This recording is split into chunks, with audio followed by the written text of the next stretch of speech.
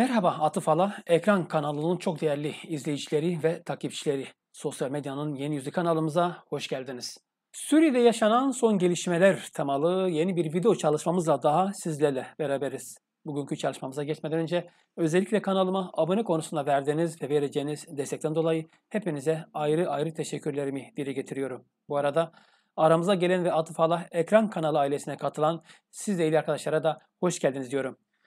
Evet değerli izleyiciler 26 Mayıs'ta Suriye'de yapılan devlet başkanlığı seçimi sonrasında Suriye'deki hareketlikler devam ediyor. Farklı renklerle boyanmış Suriye haritasına baktığımızda ülkenin farklı noktalarında farklı gelişmeler olduğu yansıyor haritaya. Suriye'de yaşanan ve haritaya yansıyan hareketliğin özellikle ülkenin orta kesiminde son günlerde IŞİD'in varlığının iyiden iyiye hissedildiği bu kırsal kesimde ve ayrıca muhaliflerin kontrolünde olan İdlib bölgesinde olduğu görülüyor. Değerli izleyiciler, Suriye ilişkin bugün aktaracağımız gelişmelere geçmeden önce e, Suriye'de birkaç noktaya dikkatinizi çekmek istiyorum.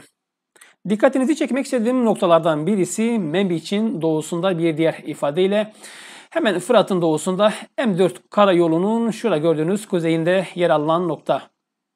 Batıdan şurada gördüğünüz köprü üzerinden doğuya doğru ilerleyen M4 karayolunun kuzeyinde hemen bir askeri üs olduğu görülüyor. Evet M4 karayolunun kuzeyinde bahsettiğimiz askeri üst burası. Şurada gördüğünüz gibi her ne kadar çok gelişmiş ve modern olmasa bile burada bir askeri hava üssü kurulduğu görülüyor ve o üst haritaya, uydu haritasına bu şekilde yansıyor. Benzer bir durum Türkiye'nin Barış Pınarı Harekatı ile kontrol ettiği bölgenin yanı başında bulunan Tel Tamr'ın hemen kuzey doğusunda görülüyor. Bu bölgede ise az önce bahsettiğimiz M4 karayolunun bu kez güneyinde bir askeri hava üssü olduğu görülüyor. Tel Tamr'ın kuzey doğusunda bir diğer ifadeyle M4 karayolunun güneyinde yer alan Buradaki üs ise değerli izleyiciler uydu haritasına bu şekilde yansımış. Fakat son güncelleme daha yapılmadığından üstün bazı kısımları e, eski görüntülerle kapatılmış durumda. Ama bu bölgede şu anda aktif olan ve kullanılma hazır bir askeri üs olduğunu da belirtelim. Evet Suriye haritasına baktığımızda Suriye'nin kuzeyinde PYD'nin bir diğer ifadeyle Suriye Demokratik Güçlerinin kontrol ettiği bölgede böyle askeri üsler bulunuyor. Suriye ilişkin bugün aktaracağımız ilk gelişme haberi de yine aynı bölgede yani Suriye'de PYD'nin kontrolünde olan bölgeden geliyor. Türkiye'nin Barış Pınarı harekatıyla kontrol ettiği bölgenin yanı başında bulunan Tel Tamur'un kuzey doğusunda bulunan Farfara köyünde halk ile ABD askerleri arasında gergin anlar yaşandı. Bölgede devreye gezen ABD askerleri ve araçları köylere sokulmadı ve Bölgede yaşanan halk tepkileri üzerine ABD askerleri bindikleri askeri araçlarla bölgeden geri dönüp yani uzaklaşmak zorunda kaldı. Tel Tamur'un kuzey doğusunda PYD'nin kontrolünde olan bölgede köylüler ile ABD askerleri arasında yaşanan gerginlik kameralarca bu şekilde görüntülendi.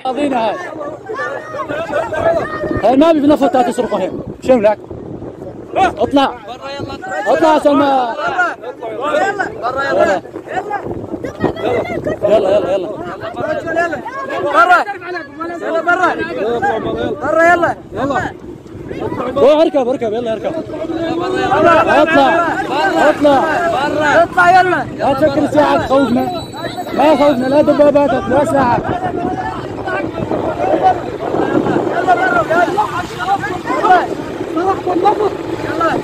نفطنا صرختوا صرختوا النفط يلا. صرختوا القمح برا يلا. يلا يلا اطلع. يلا. يلا.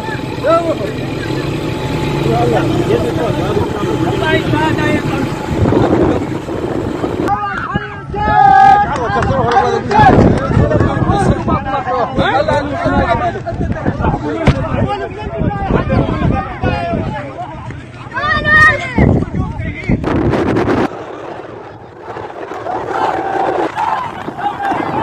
الجرذان الامريكان من فرفره هاي الاهالي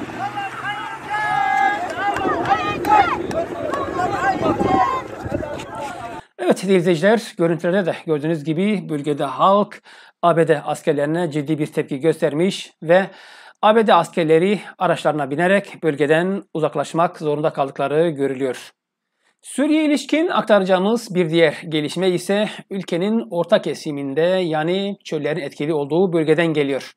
Haman'ın doğusundaki ülkenin orta kesiminde yer alan kırsal bölgede IŞİD'de görülen hareketlik üzerine Suriye rejim güçleri bölgeye ek askeri birlikler gönderdi. Daha önceki yayınlarda da bahsettiğimiz gibi Suriye'nin bu kırsal bölgesinde IŞİD'de ciddi bir hareketlik yaşanıyor. Bölgede 5 farklı noktada IŞİD'in ağırlıkta olduğu görülüyor. İşte değerli izleyiciler, bölgede IŞİD'de yaşanan hareketlik üzerine Suriye rejim güçleri bölgeye aralarında tankların da olduğu ek askeri birlikler gönderdi.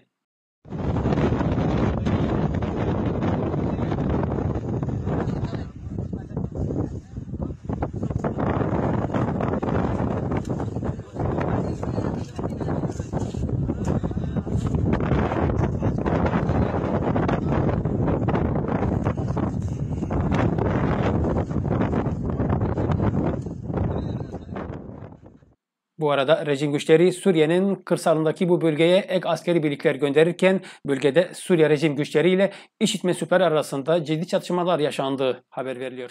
Evet sevgili izleyiciler, Suriye'nin bu orta kesiminde IŞİD'de görülen hareketlik üzerine Irak'ta harekete geçti. Bu çerçevede Irak batıda Suriye ile olan sınır hattındaki bu kısımda güvenlik önlemlerini artırmaya başladı. Bunun üzerine Irak Ortak Harekat Komutanlığı Sözcüsü Tüm General Tahsin El Kafaci başkanlığındaki askeri heyet Irak-Suriye sınırında incelemelerde bulundu. Irak-Suriye sınırında incelemelerde bulunan tüm General Tahsin Kafaci özellikle IŞİD'in sınır hattında bulunan boşluklardan faydalandığını ve sızma girişimlerinde bulunduğunu dile getirdi. Evet değerli izleyiciler, Suriye'de hareketin yaşandığı bir diğer bölge ise muhaliflerin kontrolünde olan İdlib bölgesi oluşturuyor. Özellikle Suriye rejim güçlerinin son günlerde İdlib'e yönelmesi üzerinde bölgede rejim güçleriyle muhalifler arasında şiddetli çatışmalar yaşandığı belirtiliyor.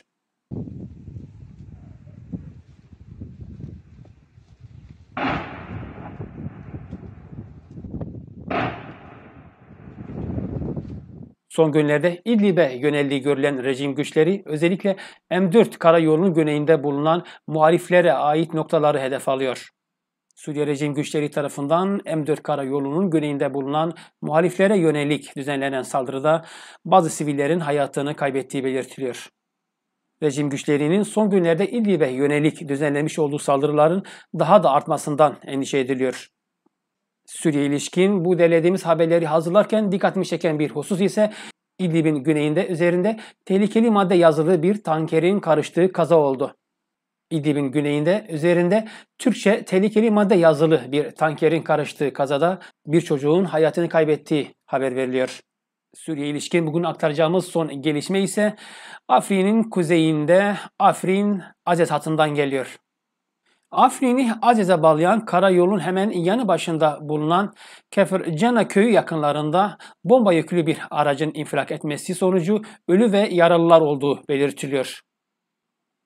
Yaralar hastaneye kaldırırken patlamanın kimya tarafından gerçekleştirildiği konusunda ise herhangi bir bilgi verilmedi. Evet değerli izleyiciler, Azez Afrin hattında patlayıcı yüklü aracın infilak etmesi sonucu yaşanan bu patlama haberiyle birlikte Süre ilişkin aktaracaklarımız şimdilik bunlardan ibaret diyelim ve bir sonraki yayında görüşmek dileğiyle. Sağlıcakla kalın, mutlu kalın.